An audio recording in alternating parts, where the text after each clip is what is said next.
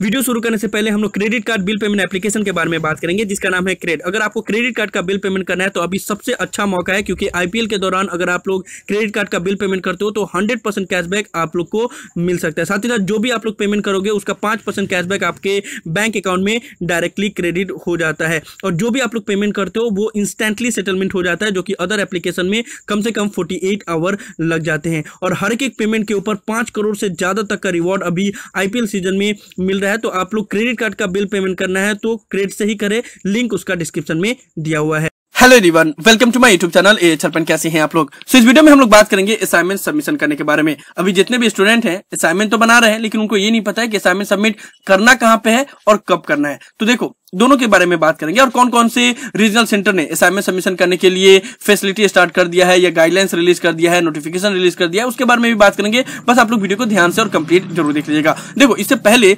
जब ये pandemic start नहीं हुआ था, तभी इग्नू में ऑफलाइन ही असाइनमेंट सबमिट होता था। उसके लिए कोई गाइडलाइंस रिलीज़ नहीं होती थी। और कोई भी स्टूडेंट गाइडलाइंस का वेट नहीं करता था। जून सेशन वाले एक मार्च से असाइनमेंट सबमिशन करने लगते थे और दिसंबर सेशन वाले एक सितंबर से असाइनमेंट सबमिट करने लगते थे। लेकिन प्रीवियस सेशन से ये पूरा सिनेरियो ही चेंज हो गया और सभी रीजनल सेंटर को अपना अपना गाइडलाइंस रिलीज़ करना पड़ा कि वो किस तरीके से असाइनमेंट सबमिट लेना चाहते हैं। ऑनलाइन लेना चाहते हैं या ऑफलाइन लेना चाहते हैं? अगर ऑनलाइन लेना चाहते हैं, तब उनके लिए क्या क्या कंडीशन है क्या क्या गाइडलाइंस को फॉलो करना है स्टूडेंट को? और अगर ऑफलाइन लेना चाहते हैं, तब तो कोई दिक्कत की बात ही नहीं है। इसलिए अभी सभी स्टूडेंट वेट कर रहे हैं कि उनके रीजनल सेंटर की तरफ़ से कब गाइडलाइंस रिलीज़ की जाएगी। और ये भी डाउट है कि असाइनमेंट सबमिशन का लास्ट डेट कब है। सबसे पहले मैं असाइनमेंट सबमिशन करने के लास्ट डेट के लेकर क्लियर कर दूँ कि बहुत से स्टूडेंट को जो ये लग है कि तीस सितंबर तक लास्ट डेट है, ऐसा नहीं है। आप लोग आराम से अक्टूबर तक असाइनमेंट सबमिट कर सकते हो। हालाँकि हर एक जगह पे आपको तीस सितंबर ही नज़र आ रहा होगा, क्योंकि वो बाय डिफ़ॉल्ट दिसंबर सेशन का तीस सितंबर ही रहता है।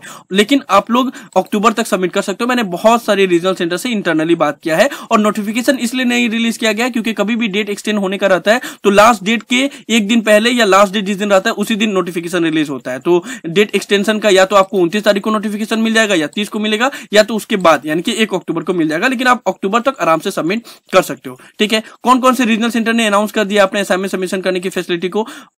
सबसे पहले तो भुवनेश्वर रीजनल सेंटर ने ऑलरेडी सभी स्टूडेंट को मैसेज के द्वारा इन्फॉर्मेशन दे दिया था कि वो इस बार ऑफलाइन ही असाइनमेंट सबमिट लेंगे। उसके बाद से जो न्यू सर्कुलर आया है, वो है मदुराई रीजनल सेंटर जो कि तमिलनाडु में पड़ता है। उनके तरफ़ से भी नोटिफिकेशन रिलीज़ कर दिया गया। ये सर्कुलर आप लोग अपने स्क्रीन के ऊपर देख पा रहे होंगे। वहाँ पे भी अनाउंस कर दिया गया है कि मदुराई रीजनल सेंटर के जितने भी स्टूडेंट है, उनको ऑफलाइन ही असाइनमेंट सबमिट करना होगा। लेकिन वहाँ पे एक फैसिलिटी दे दिया गया है कि वो बाई पोस्ट या कुरियर के थ्रू भी अपना असाइनमेंट सबमिट कर सकते हैं। लेकिन अपने स्टडी सेंटर पे ही सबमिट करना होगा। उनको ऑनलाइन सबमिट नहीं करना होगा। या तो जाके कर सकते हैं, या फिर बाई पोस्ट या कुरियर से सबमिट कर सकते हैं। भुवनेश्वर रीजनल सेंटर ने पहले बोल दिया, मदुराई रीजनल सेंटर ने भी बोल दिया कि ऑफलाइन सबमिट करेंगे। रघुनाथगंज ने ऑलरेडी क्लियर है उनके तरफ़ से कि वो ऑफलाइन ही असाइनमेंट सबमिट लेंगे। अहमदाबाद ने तो बहुत पहले से ही बोल दिया है कि वो ऑफलाइन सबमिट लेंगे। उसके अलावा गुवाहाटी, भागलपुर और पनाजी भी ऑफलाइन ही असाइनमेंट सबमिट लेंगे, जिसके बारे में मैंने पिछले वीडियो में भी आप लोग को बताया था। उसके अलावा जोधपुर रीजनल सेंटर ने भी अनाउंस कर दिया है कि वो ऑफलाइन ही असाइनमेंट सबमिट कर लेंगे इस बार। यहाँ पे आप लोग क्लियरली देख सकते हो कि दिसंबर 2020 सेशन के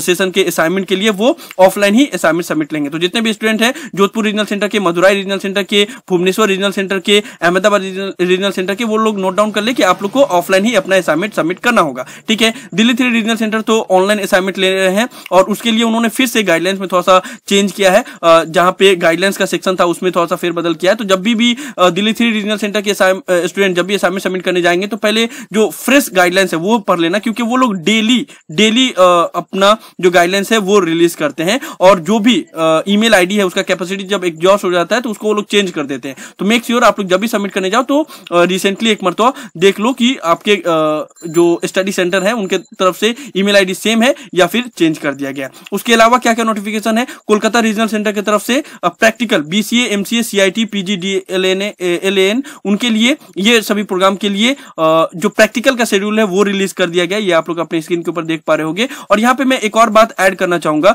जितने भी बीएससी के स्टूडेंट है, जिनका सीएचई प्रैक्टिकल होगा पीएचई प्रैक्टिकल होगा या एलएससी का प्रैक्टिकल होगा, उनका फ़र्स्ट वीक ऑफ़ अक्टूबर के बाद से नोटिफिकेशन रिलीज़ करना स्टार्ट कर दिया जाएगा। एक्चुअली आप लोग का जो प्रैक्टिकल होता है वो सभी कॉलेजेस में होता है और एमएचए के गाइडलाइंस के हिसाब से एक अक्टूबर के बाद से जितने भी एजुकेशनल इंस्टीट्यूशन है वो आराम से अपना मीन्स कॉलेज ओपन कर सकते हैं। तब उसके बाद से आप लोग का प्रैक्टिकल कंडक्ट करवाया जाएगा और उसके लिए रीजनल सेंटर की तरफ़ से ही बाकायदा नोटिफिकेशन रिलीज़ की जाएगी। तो जितने भी बीएससी के स्टूडेंट हैं जिनका एलएससी पीएचई और एल, सी ये तीनों प्रैक्टिकल हैं। उनके लिए आ, मैं यही बता दूँ कि आप लोग अक्टूबर तक वेट कर लीजिए means first week of October में आपका गाइडलाइंस रिलीज़ हो जाएगा उसके बाद से आप लोग अपना प्रैक्टिकल दे सकते हो और शेड्यूल रिलीज़ कर दिया जाएगा ठीक है? ये अभी आ, बीसीए एमसीए सीआईटी और पीजी डीएलएएन जो प्रोग्राम है, उनके लिए यहाँ पे प्रैक्टिकल का शेड्यूल कोलकाता रीजनल सेंटर की तरफ़ से रिलीज़ कर दिया गया। उसके साथ साथ में पटना रीजनल सेंटर की तरफ़ से भी बीसीए और एमसीए स्टूडेंट के लिए प्रैक्टिकल का शेड्यूल रिलीज़ कर दिया गया है। तो इन सब का डिस्क्रिप्शन में मैंने लिंक दे दिया। टेलीग्राम चैनल पर भी आप लोग को ये सभी शेड्यूल मिल जाएगा तो वहाँ से आप लोग डाउनलोड कर सकते हो। तो अभी के लिए फ़िलहाल कितने रीजनल सेंटर ने गाइडलाइंस रिलीज़ किया है, उसमें से मदुराई रीजनल सेंटर ने, जोधपुर रीजनल सेंटर ने, साथ ही साथ दिल्ली थ्री रीजनल सेंटर ने, भुवनेश्वर रीजनल सेंटर ने रघुनाथगंज, अहमदाबाद, गुवाहाटी भागलपुर और पनाजी इन लोगों ने इतना क्लियर कर लिया कि वो इस बार ऑफलाइन असाइनमेंट सबमिट ले रहे हैं, ठीक है? बाकी जितने भी अदर रीजनल सेंटर है, जैसे कुछ कुछ रीजनल सेंटर जहाँ पे ज़्यादा स्टूडेंट रहते हैं, जैसे कोलकाता रीजनल सेंटर में बहुत से स्टूडेंट हैं तो उनकी तरफ़ से अभी क्लियरेंस नहीं हुआ है। मैंने एक स्टाफ से बात किया था तो उन्होंने बोला है कि हम अभी ऑर्डर का वेट कर रहे हैं रीजनल सेंटर की तरफ़ से। तो अभी तक उन्होंने डिसाइड नहीं किया है। और ये सभी चीज़ डिपेंड करेगा कि कहाँ पे किस तरीका का सिचुएशन है। अगर बाहर तो वैसे सभी लोग निकल रहे हैं, लेकिन नॉर्मली अभी भी तो केसेस है ना तो उस हिसाब से ही डिसाइड किया जाएगा कि कौन सा रीजन में किस तरीके की फैसिलिटी दी जा रही है। इतना आप लोग समझो कि मुंबई, पुणे, कोलकाता, यहाँ पे जहाँ पे संक्रमित ज़्यादा है, या दिल्ली वन, दिल्ली टू, यहाँ पे ऑनलाइन ऑफलाइन दोनों ऑफ़र किया जाएगा, या फिर सिर्फ़ ऑनलाइन किया जाएगा। ऐसा नहीं होगा कि आपको ऑफलाइन जाने के लिए बोला जाएगा असाइनमेंट सबमिशन करने के लिए। तो इतना आप लोग जान लो। बाकी जितने रीजनल सेंटर है, सभी लोग ऐसा ऐसा ही रिलीज़ करेंगे। आपको चैनल के साथ बने रहना पड़ेगा। जैसे जैसे जो जो रीजनल सेंटर अपने तरफ़ से गाइडलाइंस रिलीज़ करेंगे असाइनमेंट सबमिशन करने के लिए